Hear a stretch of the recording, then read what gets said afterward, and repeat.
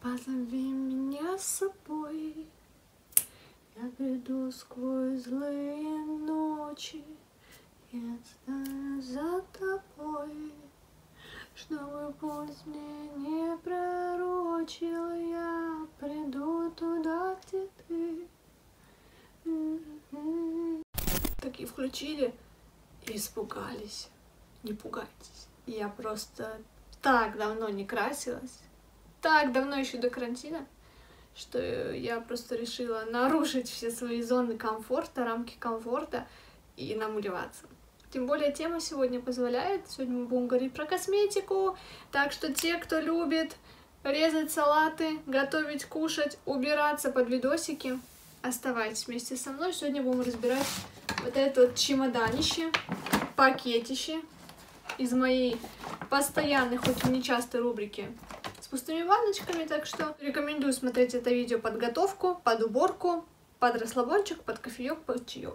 Вот, например, у меня закончились а, две упаковки витаминов. Первые это витамин С, и вторые это ферменты энзимы. Энзимы я принимаю, поскольку у меня проблемы с моторикой желудка. Желудок очень плохо переваривает пищу, плохо сокращается, еда гниет, и из-за этого может возникать изжога, тошнота, отрыжка и прочие неприятные вещи. Вот, мой организм сам не вырабатывает эти ферменты, к сожалению. Классная штука. Я же не включила. Что говорила вообще? Сорян, ребят, я забыла подключить петличку, поэтому надеюсь, что э, ваши уши не пострадали. И витамин С Обычно витамин С я пью его, принимаю курсами, как правило, это весна-осень, где-то месяц-полтора.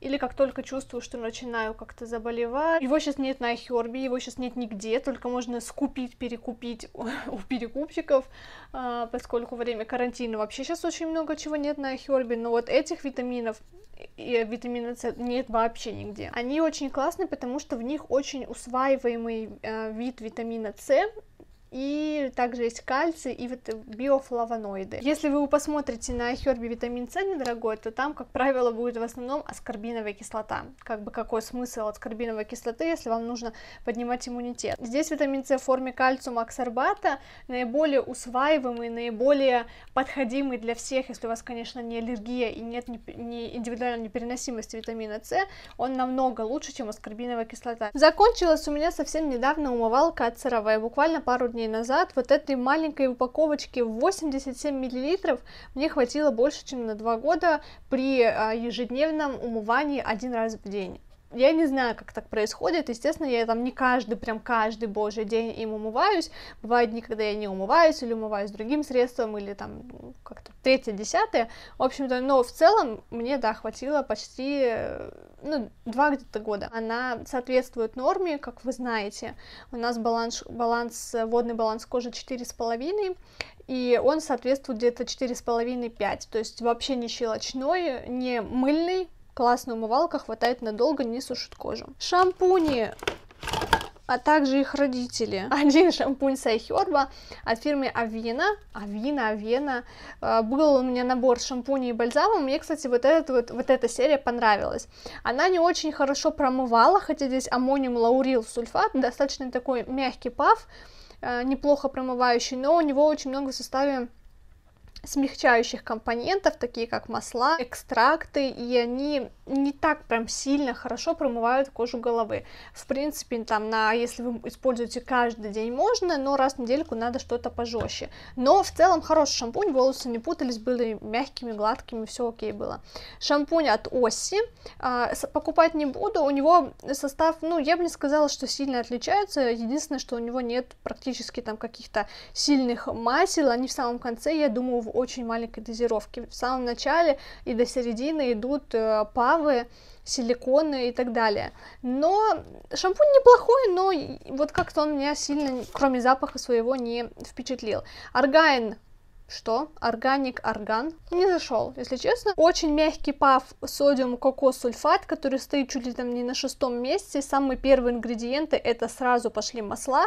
То есть он э, даже не, я бы не сказала, что он какой-то как шампунь заявленный, он скорее как уходовый какой-то компонент, ну то есть он вам кожу головы точно не промоет, и на ежедневной основе возможно, но после него у меня чесалась голова, был такой зуд небольшой, потому что она не сильно смывала, естественно, там кожное сало и прочее. То есть она очень-очень в составе много смягчающих компонентов, наверное, только в том случае, если у вас капец какая сухая кожа, именно на голове, не жирная, а сухая с такими прям трещинами. И шампунь от Markel Cosmetics, это белорусский бренд, мне тут даже еще закончился, я не допользовалась, мне не понравился, с волосами делал, черт пойми, черт черт ты пойми что. Волос был жесткий, волос был как солома, запутанный, э, грязный после сразу после мытья, в общем, очень плохо очищал. Дезодорант, дезодорант хороший, и у меня осталось совсем немного, я выкручивала, просто он у меня уже испортился, поскольку он натуральный, все-таки его нужно использовать ну, не два года однозначно. Ой, вот эту штуку я выкинула, потому что потому что я не люблю таким пользоваться. Раньше я была в восторге от гидрофильного масла, у меня было, у меня было видео, причем не одно, о моем уходе корейском, восьмиступенчатом. Я очень любила гидрофильное масло, но для меня стало это геморройно, сложно. Сначала одно, потом другое, потом пятое, десятое, куча шагов. Одни и те же проблемы. Я бы не сказала, что у меня да, точнее, я вообще не скажу, что у меня кожа выглядела лучше, или там как-то чувствовала на себя, ощущалась лучше, то есть как было, так и осталось. Но вот эти вот все заморочки, мне проще умыться мицелляркой и пенкой. Это мыло для умывания такое, которое, знаете, как э, берешь в руки, и оно начинает таять и ты как гидрофильное масло, только в таком плотном виде. Я люблю вот эту фирму Organic Kitchen и регулярно покупаю какие-то наборы, потому что это дешевле всего выгоднее.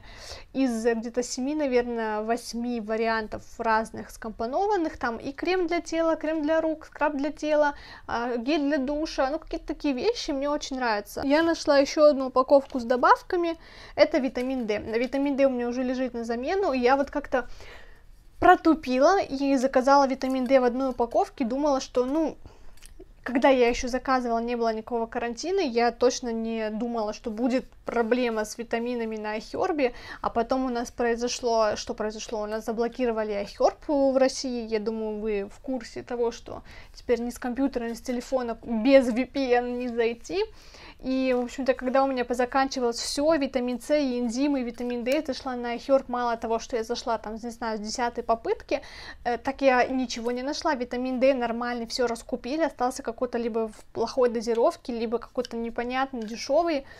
Э, мне пришлось отслеживать несколько дней. Короче, отдельная история, но в этот раз я заказала большую упаковку и э, несколько штук чтобы наверняка хватило. Вот это вот надо быстрее выкинуть, мне кажется, она взорвется скоро. Ну, кстати, не так плохо пахнет. Зачем все нюхо? Особенно протухшее. Что-то типа пилинга, мини-пил называется, да, но это как маска скорее, а не пилинг, просто с пилингующим эффектом. Он жжет на лице как пилинг, но имеет не такой длительный и эффективный результат, как пилинг все-таки, но имеет такую неплохую очищающую функцию. Такая же история вот с этой маской Сайхерба, вот то же самое, она у меня уже тут вздулась, надо скорее их выкинуть. Это э, маска пленка, я просто не очень люблю маски пленки, не знаю, зачем я купила сто лет назад. Еще средство для волос, достаточно занимательное, это масло для волос, которое по сути нужно наносить во время мытья, как третий этап после кондиционера. А, оно смываемое, но его нужно наносить вот после кондиционера, не вместо, а после, как завершающий такой эффект, который будет склеивать ваши волосы. Вот после него волосы были совершенно другие, если использовать шампунь, бальзам и кондиционер или маску, но без него.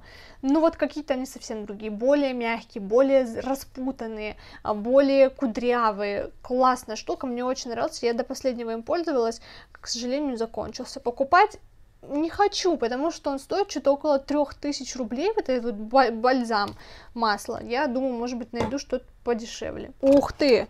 Даже двое патчей, две упаковки патчей у меня закончились. Прикиньте, сколько лет, блин, этим пустым баночкам год. Одни корейские, одни китайские. Это с iHerb, это с AliExpress. Честно говоря, я не особо вижу разницы между ними. Корейские более плотные, они сами по себе такие толстые, уплотненные, реально более плотные. Китайские более тонкие, и они больше по размеру, такие прям, знаете, прям ого-го. Корейские патчи у многих вообще никакого эффекта не вызывают, ну, типа, немножко охлаждает, немножко высвечивает, осветляет, немножко подтягивает. Но вот, вот с этим вот справляются и китайские за 300 рублей с Алиэкспресс. Так, с чего начать? Витамин D в каплях. Э, зачем заказывала? Да, собственно, не знаю, витамин D вообще маленькие такие, абсолютно капсулки, но мне хотелось попробовать вот в капельках. Прикольно, для детей удобно. Вот это serum, сыворотка с iHerb а, восхитительная. Она очень часто там на распродаже. Я купила вообще, по-моему, за 230 рублей, бывает 270. Я на нее ссылку оставлю, если не забуду. Восхитительная сыворотка, моментально впитывается, не надо, знаете, как некоторые сыворотки водянистые, надо, блин, по сто раз их проводить по лицу, потому что они водянистые, чтобы они впитались, надо много сделать телодвижений.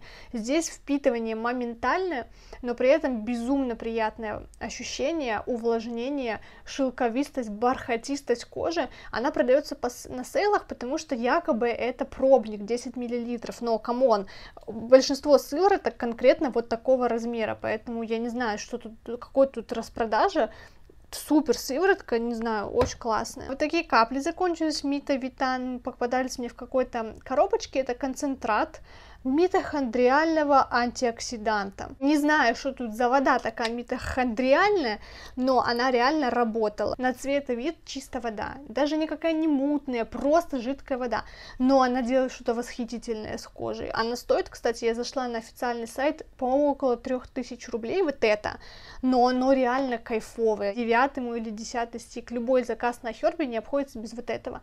К сожалению, я делала свой заказ месяц назад и забыла его туда положить. Поэтому у меня мой заканчивается, я не знаю, что я буду делать дальше, ждать следующего заказа. Eyelash Booster от Pharma Face. Я пробовала и на брови, и на ресницы, пользовалась, пользовалась, каждый день чуть ли не фотки делала для отчета.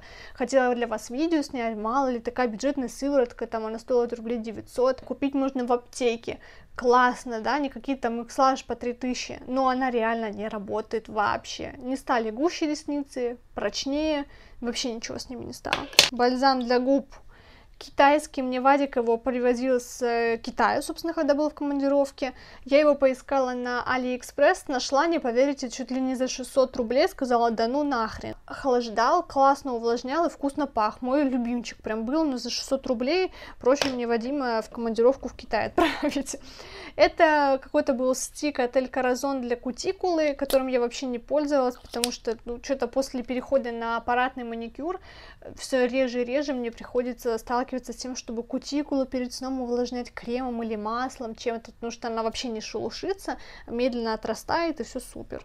И Кармакс, мой любимый, туши, туши, туши, 4 туши и фраше. У нее очень большая пушистая щеточка, с которой э, я не подружилась. Кика. Это была не тушь, а такой специальный как бы расчесыватель. Поверх вашей основной туши вы расчесываете вот это, она якобы снимает остатки туши, э, и немного подкручивает, но по факту работает как обычная щетка какая-нибудь одноразовая а, для ресниц. Клиник Чаби Лаш, вот эта тушь была неплохая, кстати, у нее силиконовая щеточка, но она огромная, но она классно подкручивала, кстати, и прокрашивала. И тушь от э, а, Рилуи, Рилуи, Рилуа.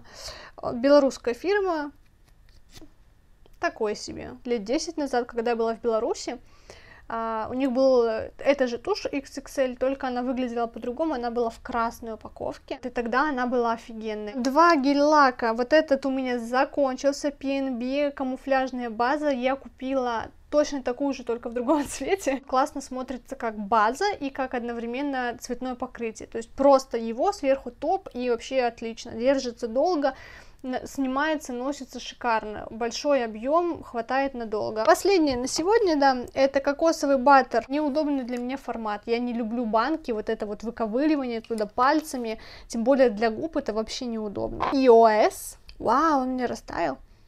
Фу, тоже мне не очень нравится эта упаковка, вот это открывать, мазать. Большое спасибо за внимание. Любителям моих кудряшек посвящается. Я сегодня помыла голову, специально ничего не укладывала, потому что мне регулярно пишут, что мои кудри восхищают многих.